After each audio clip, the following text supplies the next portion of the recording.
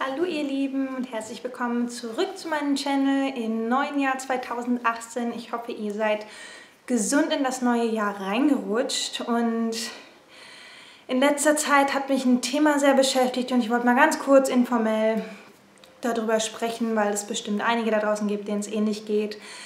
Weihnachten und Neujahr war die Zeit, in der sehr viele Bekannte, Verwandte, Freunde bekannt gegeben haben, dass sie ein Kind erwarten. Facebook, Instagram, alles war voll davon, oh, wir erwarten ein Kind, wir erwarten ein Kind, wir erwarten ein Kind. Wie geht es einem dabei, wenn man selbst immer derjenige ist, der ein Kind erwartet und es dann verliert und erwartet und verliert und erwartet und verliert? Beziehungsweise für die, die wo es gar nicht klappt. Ähm, ja, ich wollte einfach mal kurz erwähnen, wie was mir hilft, wenn solche Momente kommen. Und das war auch dieses Jahr für Neujahr war es wieder ziemlich oft ein Stich ins Herz. Viele Pärchen, die ich halt in den USA auch kennengelernt habe, frisch verheiratet, sofort klappt es mit dem Kind und alles ist toll und du denkst dir natürlich, toll. Wieso klappt es bei denen gleich und bei mir nicht? Was mache ich falsch? Was mache ich anders? Ich bin doch kerngesund, mein Mann ist kerngesund. Wieso klappt es nicht? Und viele haben mich da gefragt, wie schaffe ich es überhaupt so positiv zu sein in dieser Zeit, nachdem ich eben so viel, ich meine, gerade wenn man sowas sieht, kommen wir auf diese Fragen. Wie gesagt, ähm, wieso klappt es bei denen, wieso klappt es bei mir nicht? Und dann kommt natürlich ein Stück weit Neid auf, was völlig menschlich ist, was völlig normal ist und ich denke, es ist auch okay, wenn man ein Stück weit neidisch auf jemanden ist. Das ist nicht unbedingt immer was Negatives, sondern man freut sich ja für den anderen und wünscht, wenn man hätte genauso viel Glück wie diese andere Person. Und ich glaube, das ist das Hauptding, dass ich versuche nicht negativ neidisch zu sein im Sinne zu, äh, die haben das und ich gönne ihnen das gar nicht und äh, die haben das gar nicht verdient oder ja, so halt zu denken, sondern ich versuche das positiv zu drehen, zu sagen, hey, ich freue mich. Ich freue mich, dass diese Menschen nicht diesen Mist durchmachen müssen, den ich durchgemacht habe. Ich freue mich, dass diese Menschen ein gesundes Kind austragen dürfen. Ich freue mich, dass diese Menschen das Tolle an der Schwangerschaft erleben dürfen, dass die voller Hoffnung sein dürfen, dass die ja, dass für sie Schwangerschaft noch was Tolles, Erwartungsvolles ist und nicht was Angsteinflößendes, was mit ständigen Fragen im Kopf, oh Gott, geht irgendwas gut, ist da Blut, ist, habe ich Krämpfe oder ja, was man halt sonst denkt, wenn man nach so, nach so einer Erfahrung halt wieder schwanger ist. Und ja, was hat mir geholfen? Ich, ich weiß es gar nicht. Einfach dieses Positivbleiben, glaube ich. Als ich zum Beispiel mit der dritten Schwangerschaft, meine Schwester hatte angekündigt, dass sie ihr erstes Kind erwartet und ähm, ich bin kurze Zeit später selber schwanger geworden. Ich war genau drei Wochen hinter ihr ich war so aufgeregt, so aufgeregt, gleichzeitig mit meiner Schwang Schwester schwanger zu sein. Ich habe es ihr gegönnt und ich hoffte nur die ganze Zeit und habe gebetet dafür, dass sie nicht diesen gleichen Mist durchmachen muss wie ich. Und das hat sie zum Glück auch nicht. Und als ich dann meins verloren habe, war das so ein richtiges Chaos der Gefühle. Auf der einen Seite war ich so froh, dass meiner Schwester, dem Kind und ihr es gut geht. Auf der anderen Seite war die Trauer so tief, einfach zu wissen, okay, ich sehe jetzt, wie ihr Bauch wächst. Ich sehe, wie ihr Kind wächst. Und ich frage mich jedes Mal, wie weit ich wäre. Und dass es bei mir bald so weit wäre. Und es ist hart. Es ist wirklich hart. Jetzt ist das Baby ja da. Es ist ja drei Wochen früher gekommen. Ähm, es hatte gestern errechneten Termin und ist ja schon vor Weihnachten gekommen. Dem Kind geht's gut, die sind zu Hause, ähm, es entwickelt sich prächtig, mein Neffe ist total süß, meiner Schwester geht's super. Ähm, und mein Termin wäre Anfang Februar gewesen.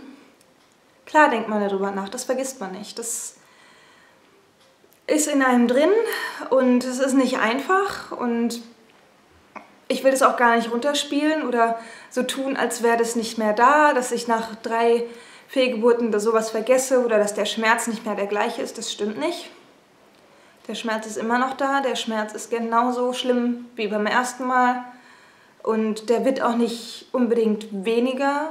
Ähm, es wird, man kommt nur besser damit klar. Also aber es ist immer noch vorhanden. Also, und deswegen, immer wenn ich diese Ankündigung von anderen sehe, muss ich mich immer wieder daran erinnern, Eika, es ist okay, traurig zu sein, es ist okay, ein bisschen neidisch zu sein, aber bete für diese Menschen, dass sie sowas nie erleben müssen, dass sie eine positive Schwangerschaft erleben dürfen, denn du hast auch viele, die an dich denken und dir das Beste wünschen und das kannst du nur für die anderen tun und ich wünsche niemanden, dass er das durchmachen muss, was ich durchmachen musste oder mein Mann. Niemanden. Nicht mal wirklich niemanden. Das ist einfach der größte Mist auf Erden und ja, ich weiß gar nicht, ob was da der, das Geheimrezept ist, positiv zu sein. Ich glaube, das ist einfach eine Sache der Einstellung. Ich war noch nie ein Mensch, der sich hat von irgendwelchen Sachen extrem runterziehen lassen.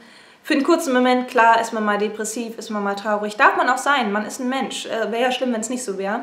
Wir sind Menschen, wir haben Gefühle, die sollten wir auch zum Ausdruck bringen und nicht in uns einbunkern, weil Gefühle, die nicht ausgelebt werden, werden zu Depressionen. Und ich glaube, das ist am Ende schlimmer, als wenn man eine gewisse Zeit seine, seine Gefühle einfach freien Lauf lässt und es dadurch besser verarbeiten kann. Ich glaube, das ist so der Haupttipp, dass man dann, wenn es soweit ist, also als ich die Kinder verloren habe, konnte ich so viel geweint, wie ich nur konnte. Irgendwann ging es einfach nicht mehr.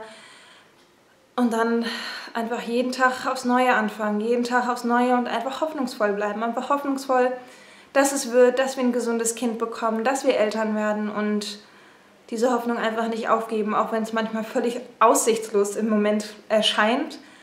Aber ich glaube einfach fest daran, dass es irgendwann kommt und dass, wenn dieser Moment kommt, er einfach viel, viel schöner für uns sein wird als für andere, die es einfach gar nicht so krass wertschätzen können, wie wir es dann wertschätzen werden. Weil das ist ja nochmal was ganz anderes, wenn man drei verloren hat und ein Kind bekommt oder gleich sofort ein gesundes hat. Das ist einfach, da ist eine ganz andere Wertschätzung trotzdem noch da, ähm, denke ich jetzt mal. Wie gesagt, das war jetzt doch ein bisschen längeres Video. Ich wollte einfach mal kurz meine Gedanken freien Lauf lassen. Äh, es, was, wie es mir so ging, äh, weshalb ich auch so ein bisschen abwesend war, weil, wie gesagt, Neujahr war viel, viele Leute, die jetzt bekannt gegeben haben, dass sie schwanger sind und jetzt im Juni, Juli, August und so weiter Kinder bekommen werden in diesem Jahr. Und das hat mich manchmal ein Stückchen mitgenommen und da wollte ich einfach mal kurz drüber reden euch das mal wissen lassen, wenn ihr das Ähnliche durchmacht.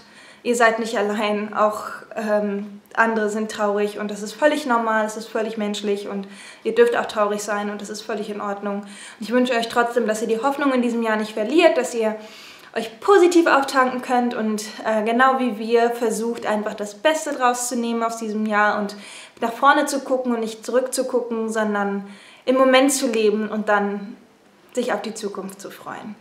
In diesem Sinne verabschiede ich mich dann für das heutige Video. Wir werden bald wieder nach Bayern fahren, an unserem Haus weiterarbeiten. Da werde ich euch dann natürlich wieder mitnehmen. Das wird in der ersten Februarwoche passieren.